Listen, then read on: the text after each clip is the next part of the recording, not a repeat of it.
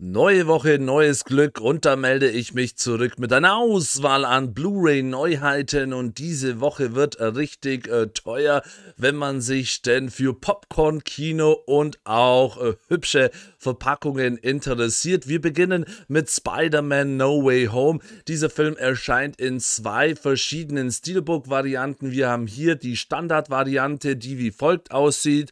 Sieht eigentlich nicht verkehrt aus. Ich habe mir die 4K variante vorbestellt.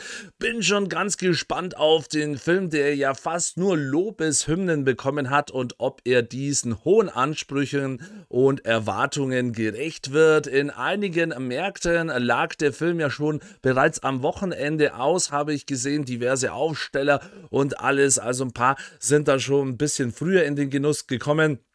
Wir werden dann ab dem 12. April sozusagen bedient. Das wäre dann morgen. Ich bin mal gespannt, ob Amazon pünktlich liefert. Und dann landet der Film auch spätestens zu Ostern in den Player. Tod auf dem Nil haben wir dann hier im Steelbook angekündigt. Den Film habe ich mir schon angesehen. Den gibt es ja für alle Abonnenten des Streaming-Dienstes Disney Plus kostenlos im Abo. Hier wird noch ein Steelbook nachgereicht. Finde ich cool von Disney, dass hier immer wieder eben wie bei Nightmare Alley und auch vergangene exklusive Filme für Sammler ein Steelbook nachgereicht wird. Der Film war jetzt ganz okay. Es geht wieder um ein äh, Rätsel rätselhaftes Mörder, wer hat es getan, raten. Hier diesmal aber mit Gal Gadot, optisch sehr gut, aber inhaltlich dann doch ein bisschen flach und die ein oder andere Logiklücke ist da leider auch vorhanden. Also nur bedingt zu empfehlen, vor allem dann auch für 24 Euro im Steelbook. The Sadness erscheint dann endlich diese Woche im Steelbook und auch im Mediabook. Beides habe ich euch schon präsentiert und und auch eine Review dazu gemacht und auch jede Menge Informationen dazu beigesteuert. Ihr seht es hier, ich verlinke euch diese drei Videos nochmal, dann könnt ihr euch da nochmal näher damit beschäftigen. Von mir eine ganz klare Empfehlung, ja, aber auch nicht zu hohe Erwartungen haben, aber da geht schon gut zur Sache, auf jeden Fall. Dann haben wir Jakuza Princess. Da habe ich euch bereits am Wochenende schon ein Unboxing präsentiert. Eine Review folgt dann noch zum Release in dieser Woche. Ich bin sehr gespannt auf den Film. Da geht es ja um eine Frau, die plötzlich Besuch von einem Typen bekommt, der sagt, dass sie zusammenhängen und sie erfährt dann, dass ihre Familie erwordet wird, sie eine Überlebende der Jakuza ist und dann nimmt sie dann Rache mit Hilfe eines Schwertes. Also ich bin gespannt. FSK 18 verspricht ja auch keinen Kindergeburtstag. Mal gucken, ob der den Erwartungen ebenfalls gerecht wird. Dann haben wir noch Time Uh, Bandits, der Klassiker, der erscheint hier in einem schicken Mediabook zum, glaube ich, schon 40-jährigen Jubiläum, wenn ich mich nicht täusche. Hier haben wir dann noch einen Einblick in dieses Mediabook. Da geht es ja um so einen Jungen, wo plötzlich ein paar, äh, was waren das, Zwerge oder so, ähm, auftauchen in seinem Zimmer, die Zeit reisen können, aber eben immer auf äh, Räuberzug sind. Er schließt sich diesen äh, Zwergen an und dann erlebt er jede Menge Abenteuer. Ich habe den Film noch nicht gesehen, mir nur vorhin kurz die Inhaltsangabe äh, durchgelesen. Man kann nicht jeden Klassiker und sonstiges kennen, aber das ist ja das Schöne, dass man immer wieder noch was Neues entdecken kann. Wäre ja langweilig, wenn man schon alles kennt. Genauso verhält es sich mit Die Verfluchten, der Untergang des Hauses Ascher. yeah, yeah, yeah, yeah. Muss ich immer an Ascher denken. Und und Aschermittwoch ist ja schon längst vorbei, aber jetzt kommt dann äh, die Verfluchten, äh, veröffentlicht von Wicked Vision Media.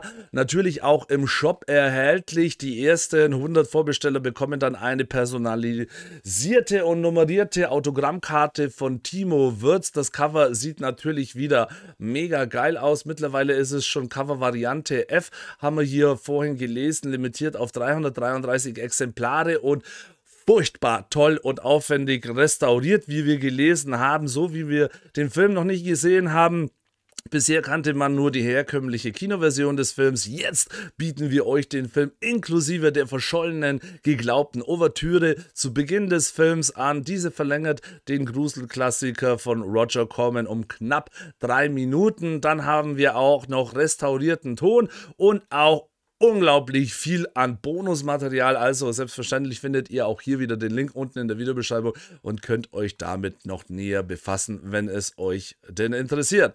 Dann haben wir The Hunt, herausgebracht von Universal Pictures in äh, vier, glaube ich, verschiedenen Cover-Varianten, auch Amazon exklusiv und hast du nicht alles gesehen. Hier haben wir eine Variante hier von äh, Ralf Krause. Wie man sehen kann, sieht richtig geil aus. Der Film ist auch richtig toll. Da machen Amerikaner Jagd auf andere Amerikaner, wie wir das schon aus dem einen oder anderen Film kennen, aber richtig schön brutal und auch richtig lustig mit schwarzem Humor. Mir hat der Film sehr gut gefallen und auch hier wird es dann in dieser Woche noch ein Unboxing zu diesem Mediabook geben. Eine Review davon habe ich euch ja schon präsentiert, findet ihr ebenfalls unten in der Infobox verlinkt. Außerdem erscheint noch Fear and Loafing in Las Vegas. Willkommen im Fledermausland. Ein tierisch geiler Film, geile Komödie mit Johnny Depp und äh, diese erscheint ebenfalls von Universal Pictures in drei verschiedenen Cover-Varianten. Und wenn alles glatt läuft, dann kann ich euch hier ebenfalls ein Mediabook präsentieren. Ein Mediabook zu Violation wird es auch geben. Angeblich ein richtig krasser Rape Revenge Film. Diesen Film hat euch bereits der Ephraim schon vorgestellt im Mediabook. Auch dazu seine Meinung kundgetan.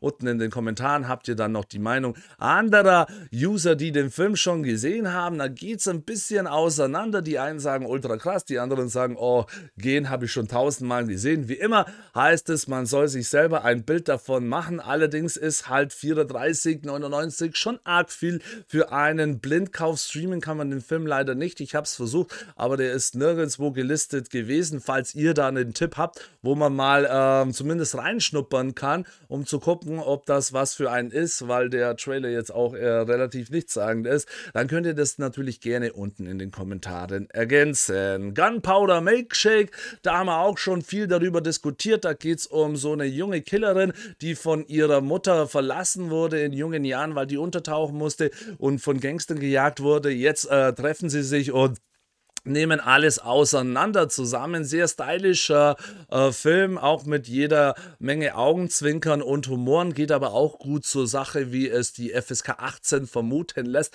Ich bin mega gespannt, ob ich mir das Mediabook jetzt hier holen werde oder nicht.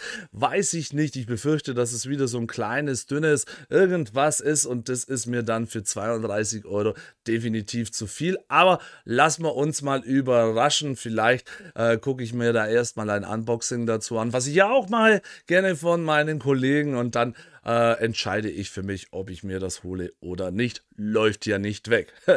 Dann haben wir noch das siebte Zeichenklassiker mit Debbie Moore, Michael Bean und Jürgen Prochnow.